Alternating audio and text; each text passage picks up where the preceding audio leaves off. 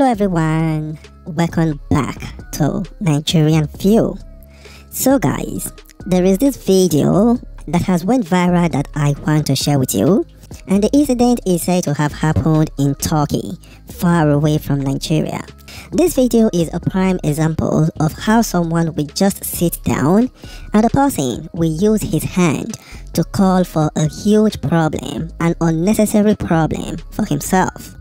So the only reason I am showing this young man's face in this video is because this video is basically everywhere and I am sure that most of you have already seen it. Now before I play the video for you guys, let me quickly give you guys the premise of what happened. Now I really don't know how this whole thing started, but the first video that went viral is this particular video you are seeing here. I think someone had asked this young man a question and the next thing the young man said was that I Ayes not get mouth now.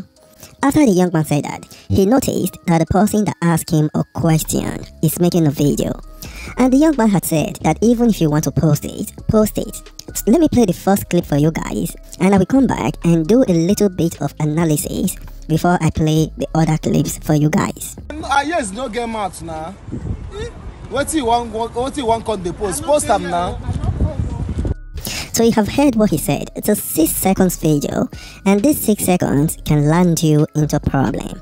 And this 6 seconds clip can change somebody's life. So after he said this, he did not know that this will go viral, which is really surprising to me because if you want to go viral, it's just for you to say things like this about any organization or any group because a lot of people will be interested to know who you are for you to have said that, especially as your face is showing in the video.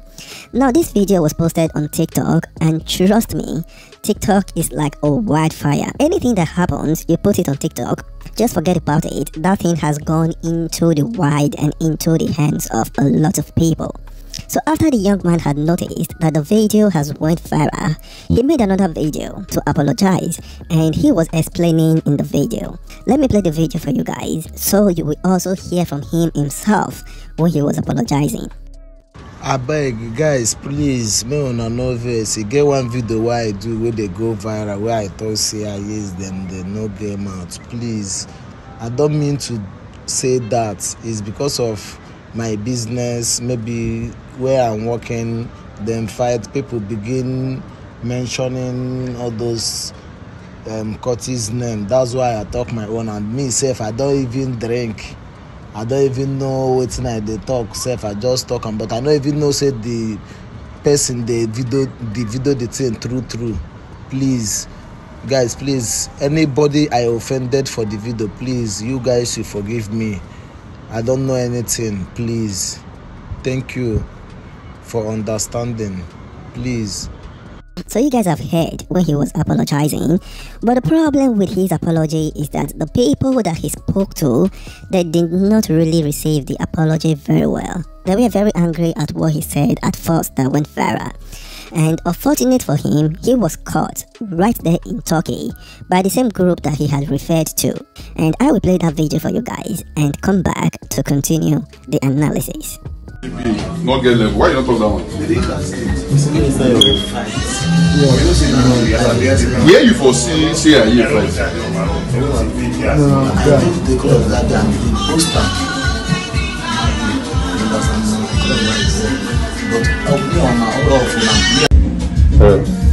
I have apologized all Ayes worldwide for the video I make. Please forgive me for the video I make did did go out out of my foolishness. Please, all the Ayes people, forgive me. God bless Ayes.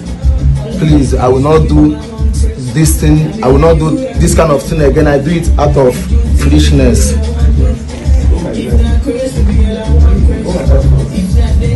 Please, all the Ayes people, forgive me.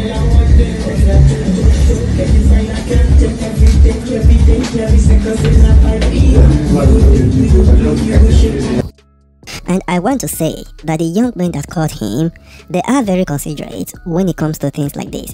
Imagine this young man had said something like this in Nigeria, in Lagos State, and he is being caught by the people he has spoken to here in Lagos. The story wouldn't have been the same, and he is lucky that he had done this in Turkey, and he is also lucky that the people that caught him in Turkey are very considerate.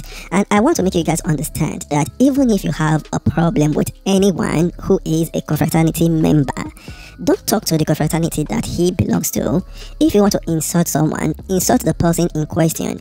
I'm talking about all the confraternities across.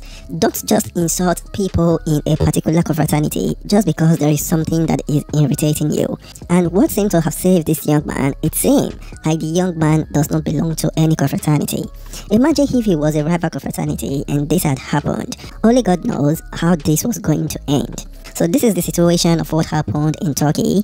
Anyway, you are watching Nigerian View.